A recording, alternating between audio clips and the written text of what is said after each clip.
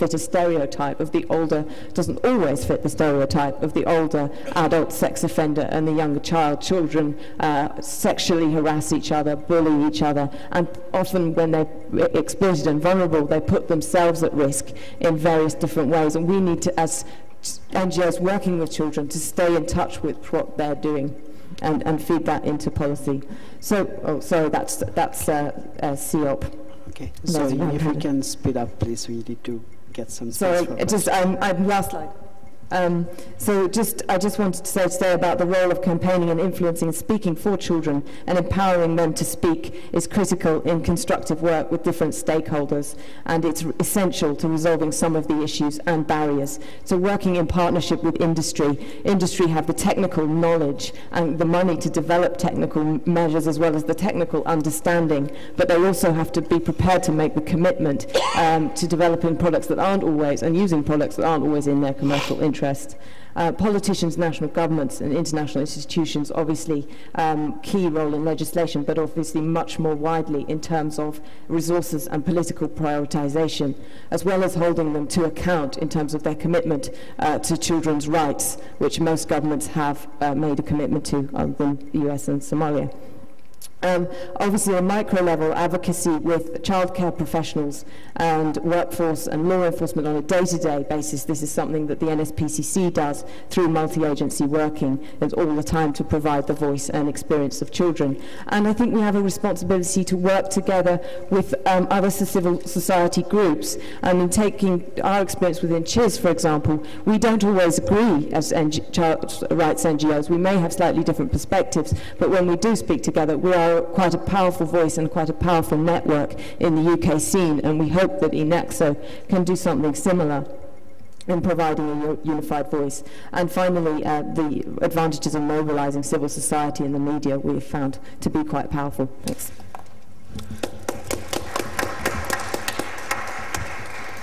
Um, thank you very much, uh, Zoe, and that was uh, very interesting. And you did raise uh, quite a few um, very important points um, you know, the fact that uh, phishing sites get thrown out in few hours and child abuse images stays there much longer is definitely uh, something that needs to be worked out. And um, your campaign was something that you know uh, can be done in other countries as well. Maybe they can just um, capture the airport for a few days and see what happens. Um, I'm just kidding because and of course, this is not the best approach. Um, well, we, we, are, we still have um, probably five minutes um, for a short um, presentation, not really presentation, a dialogue, um, to talk about how the challenges are you know, faced in de developing countries in terms of expanding the network. So I would like to call up uh, Mr. Thiago Tavares from Brazil uh, to speak on this uh, very briefly.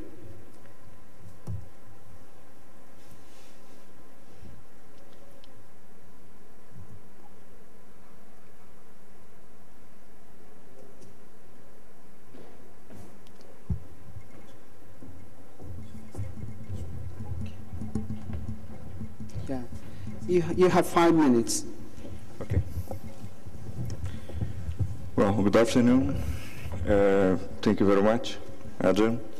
Uh, I would like to just uh, to highlight some progress that we have in South America, especially in my country, Brazil. and give you some information uh, regarding these progresses in four, the, the four main sectors. Uh, in fact, many things are changing in our country. Uh, on the law enforcement, uh, we have uh, a progress with uh, the great work developed by the Brazilian Federal Police uh, and the work developed by the Brazilian Federal Prosecutor as well. Uh, last December, the Brazilian Federal Police start in a, in a very uh, in a big operation. Was called Operation Carrossel One. That traced uh, more than 3,000 uh, different internet users that use peer-to-peer network to distribute child sexual abuse images. Uh, and two months ago, the Brazilian Federal Police uh, started the, the, second phase of this operation. Uh, and uh, with the, the, information provided the Brazilian Federal Police, they, Spain, for example, arrest 121 uh, criminals. Greece arrest 28 uh, criminals. And uh, in Brazil, uh, the Brazilian police arrest just three people, but find more than 121 different users. And why this? Because uh, since two, a uh, couple of weeks ago, the possession, for example, was not a crime in Brazil. What is, uh, what is an absurd? Possession of child sexual abuse, possession of these images was not a crime, was not a criminal offense in Brazil. And then uh, the National Congress uh, established a special commission on child online protection and uh, one of the gains was uh, to approve, to pass a new law. In this new law, uh, the, the, the, possession and uh, grooming, uh, morphing, sell, advertising of child sexual abuse and all of these conducts are now criminal offenses in our country. So uh, we have a, a, a strong uh, uh, progress, a very high, stronger uh, progress uh, on the legislative uh, sector, on the law enforcement, and as well on the private sector. I know that you all heard about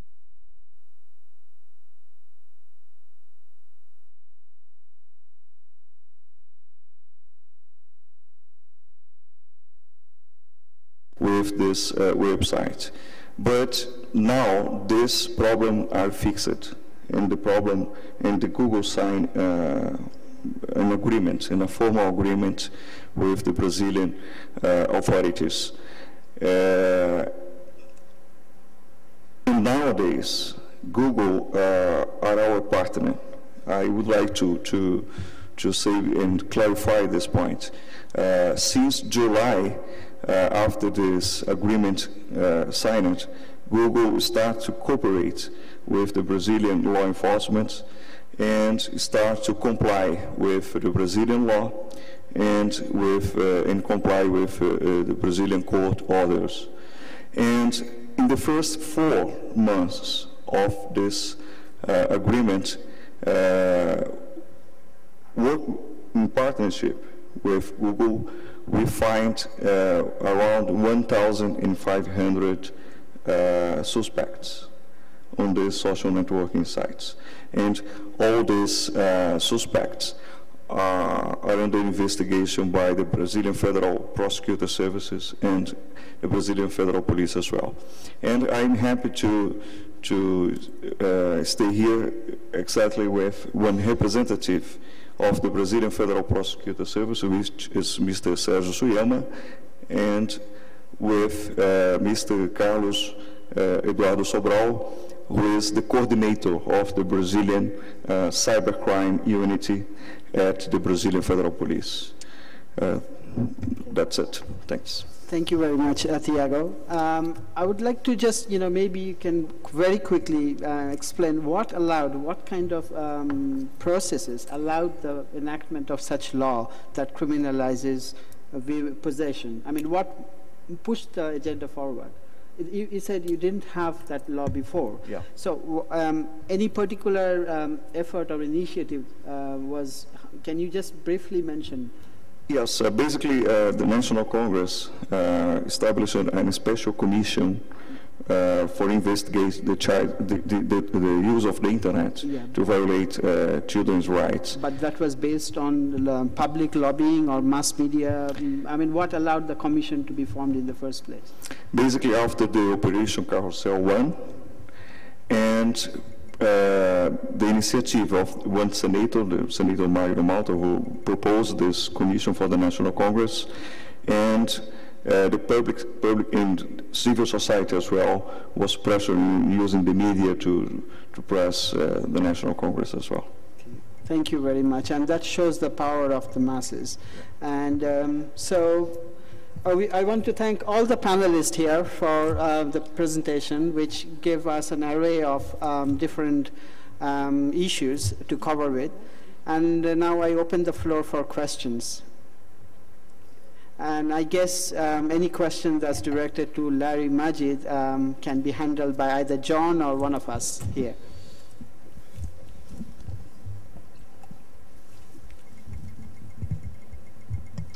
So the presenters must have made everything very clear. Um, yes, I guess so, yeah. Um, I, if someone has any pressing questions, um, no, no signs of hands. I, am sure everybody is entirely fatigued by the end of the day, looking forward to the day tomorrow. But uh, thanks again, thanks to all the participants here. And uh, we hope that we did manage, the panelists did manage to inform you. And um, let's hope that we can work together at the next IGF. Thank you very much.